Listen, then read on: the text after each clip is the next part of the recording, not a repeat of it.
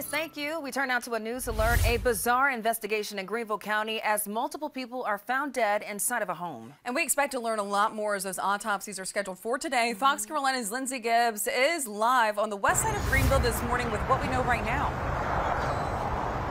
Hey, good morning, Margaret Ann, Ashley. Right now we're off Cedar Lane Road on Worth Street.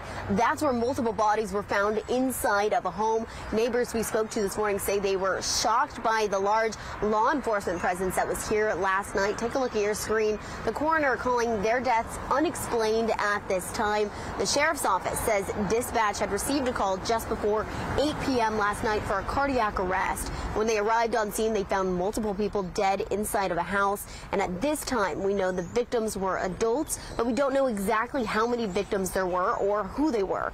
If you're not familiar with the area, we did map it out for you. It happened here on Worth Street. This is on the west side of Greenville near Berea. The Greenville County Sheriff's Office is investigating, saying it's due to the unexplained nature that they're going to continue this investigation. Of course, we have reached out this morning for an update. As soon as we hear back, we'll be sure to update you as well. For now Greenville, Lindsay Gibbs, Fox Carolina News.